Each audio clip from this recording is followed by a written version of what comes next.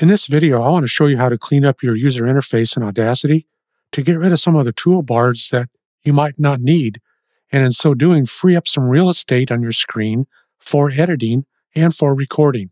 So let's get started.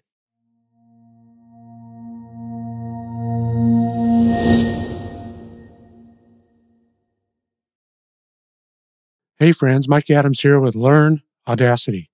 I have a screen open here just for reference. This is Audacity version 3.7.0. It's the latest version as of this recording, and I want to show you how to clean it up a little bit.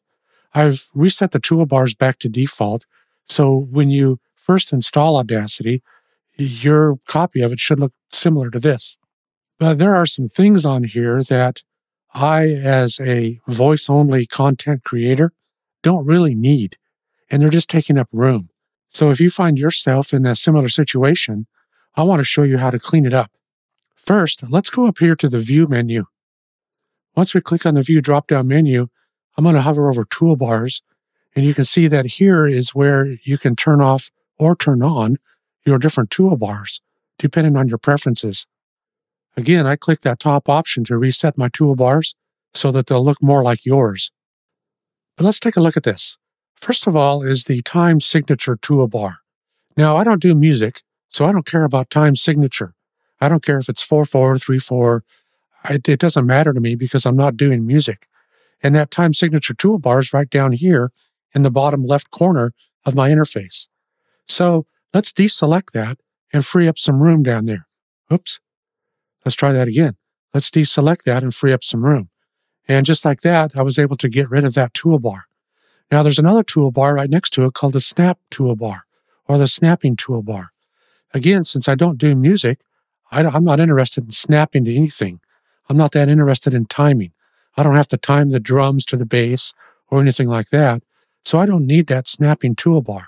So let's go back up to view again and let's go back down to toolbars and let's get rid of that snap toolbar, that snapping toolbar and it's right here, second from the bottom. So by doing that, I've cleaned up that toolbar as well. Now the next one down there on the bottom left is the time toolbar. Let me show you something you may or may not already know. If I hover a map, my mouse over the little handle on a toolbar, it brings up a tool tip and tells me what the name of that toolbar is. Likewise, if I come back up to a particular button on a toolbar, let's go to this one here, it'll bring up a tooltip that tells me what the function of that button is. So there's some information for you in case you didn't already know. But let's get rid of that time toolbar because, again, I don't need it. I'm just not interested in it. So let's come back up to view. Let's go to toolbars. And the time toolbar is right here. So let's deselect it. And now it's gone. Now, the next toolbar that's down there is the selection toolbar. The functionality of the selection toolbar is to let you know your cursor position. And if you select through a portion of audio, it will tell you things like the starting point, the ending point, or the middle point, or how, however you have it set up. I don't really use it anymore, so I'm going to get rid of it. So let's come up again to the view menu. And let's come down to toolbars. And the selection toolbars right here. So let's deselect it. Now, the last one that I want to deselect down here is the Play at Speed toolbar. I used to use the Play at Speed toolbar. If you use it, you might want to keep it on there, but I don't really use it anymore. So I want to get rid of it to free up some real estate. So if I come back up to View, Toolbars once again, and I can delete or remove the Play at Speed toolbar. And when I do, you see I freed up quite a bit of real estate. So now I have more room for my waveform to fit or my waveforms if I'm doing multi-track. Something else that was in earlier versions of Audacity was the device toolbar. I don't have it turned on, but I want to show it to you. So let's come back up to view and let's go to toolbars and let's select the device toolbar. This puts the device toolbar back up above near the top of my GUI. And it's here that I can select different audio devices through drop down windows.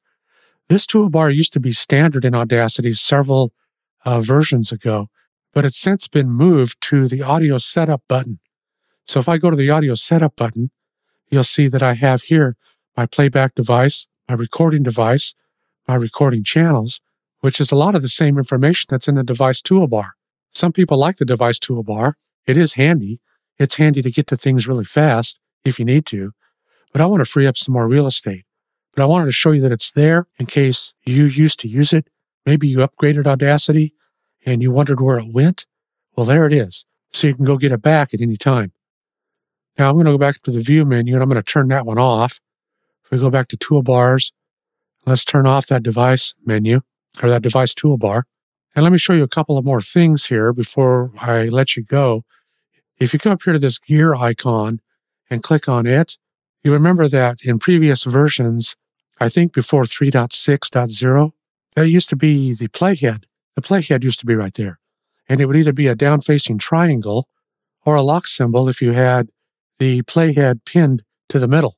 But now all of that's gone, but you can still pin your playhead to the center by selecting continuous scrolling. When you select continuous scrolling, it pins the playhead to the middle of your screen. And instead of moving the playhead through the waveform, it moves the waveform through the playhead. So that's how you can still get to that. Also, if your toolbar option isn't already set to minutes and seconds, you can do it here. Again, I'm not interested in beats and measures because I don't do music. But if, if yours is set to beats and measures, it's going to look something like this. Well, that's not really useful to me as a voiceover content creator. So I'm going to leave it on minutes and seconds because that's the world that I live in. Now, one more thing I want to show you. Up here in the record and playback toolbars, you can expand these simply by dragging this out. These reset when I reset the toolbars, but normally I have mine out here a little bit more so that I can get a little more granular in my view. And I also have mine set to go down to negative 84 dB. Let me show you where to set that. If you go to your preferences window, and I'm on a Mac, so my preferences window is right here, you can select the interface in the left hand column. And then right here in the dB uh, meter range, you can set your meter range. Normally it comes preset to a negative 60 dB, but I like to see what's going on below that. So I have mine set to a negative 84. So that's where you go to set that. And I'm going to go ahead and cancel out of here. And that's how you clean up your user interface if you have things in it that you don't want there. And again, the whole idea is to give you a little more real estate and a little more area in your waveform so that you can do your editing there. So that's all I have for you in this video. I'll let you go. And until next time, y'all take care.